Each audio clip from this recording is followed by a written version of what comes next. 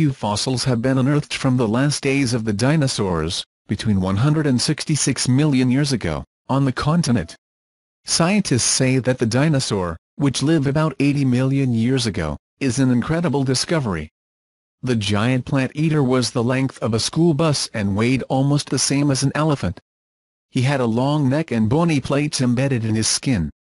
The fossilized remains of the dinosaur were unearthed during an expedition by paleontologists from the University of Mansoura in Egypt.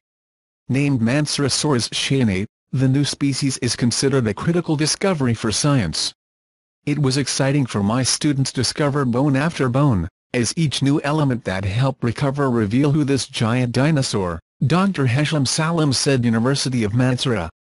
The course of the evolution of dinosaurs in Africa has remained a mystery, especially during the last 30 million years of the reign of dinosaurs.